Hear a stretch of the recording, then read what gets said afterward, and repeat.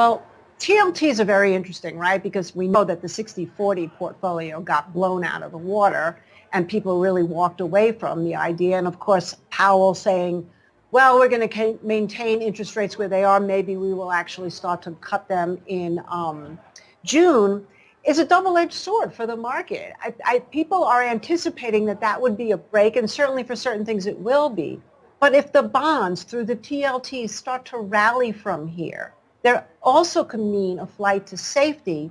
And if it particularly starts to outperform things like the S&P 500 or the junk bonds, which is the ultimate risk on buying junky companies that give high yield when times are good, I think then it becomes more fair warning than, oh, yay, we're going to cut rates, but wow, what's happening that all of a sudden we have to do that? The confidence in the economy, maybe not so much. And of course, that could also spur inflation with the dollar fall as well. Right, understood. And then you have a couple of names that you actually own and like. Um, totally different from each other, I feel like, um, because CrowdStrike and Alibaba. Tell me about those names that you have been involved in. I don't know if you add position and pull back or how you do it, but CrowdStrike and Alibaba, you like those? Well, CrowdStrike, obviously cybersecurity, so that is a trend that has been doing very well. Of course, we all know that Nancy Pelosi bought Palo Alto. We're not in that. We're in cyber, uh, in CrowdStrike. And, it, and another stock that reported well and has come off. But these dips for us are buy opportunities. So I'm watching right now. We, we've been holding it for a while. But if it holds around this 3, 312 level, I think that might be a good opportunity to get back into it. I think risk control, by the way, should be in everybody's mind no matter what you're buying. And then moving over to Alibaba, uh, we started buying it, and this is from the discretion side, at $69 just because a, it looked technically ready to bottom. And then right after that, there were all the announcements about uh, different type of stimulation China was doing. Jack Ma had bought the stock.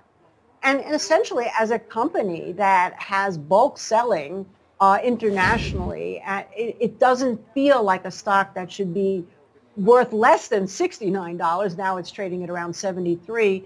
And I would add to that potentially if it can get back over, say, $78 because it's gotten up close to there a couple of times and then failed. So that would be a good breakout point. And I, and I, and I believe that China's not finished like so many people like to think, that China just has a very long view plan.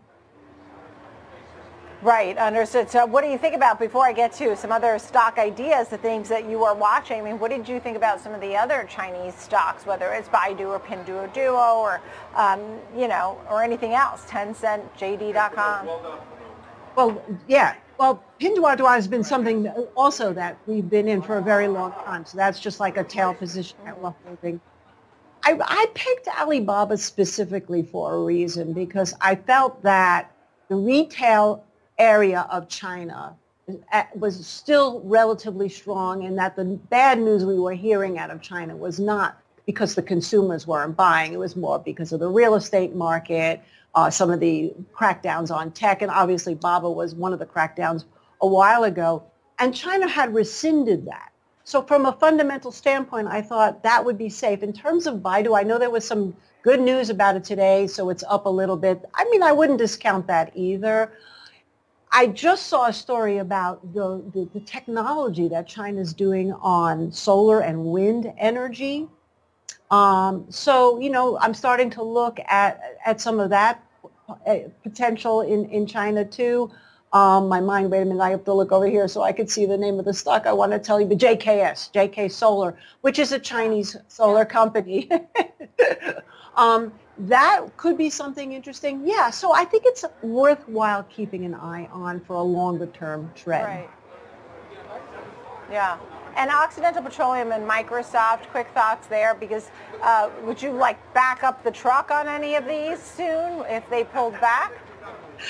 Well, definitely Microsoft. They had, they had bad news today, right? I mean, supposedly Russia was able to hack into it. At least that's what I saw.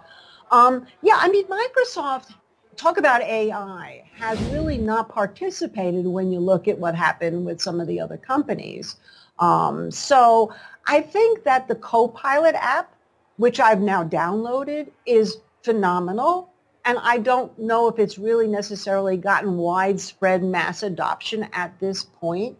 But to me, that's the catalyst that could really take this stock up out of this $400 level that it's kind of been trading range in into closer to a $500 level. So we're waiting because it's it's chopping between like 395 and 420.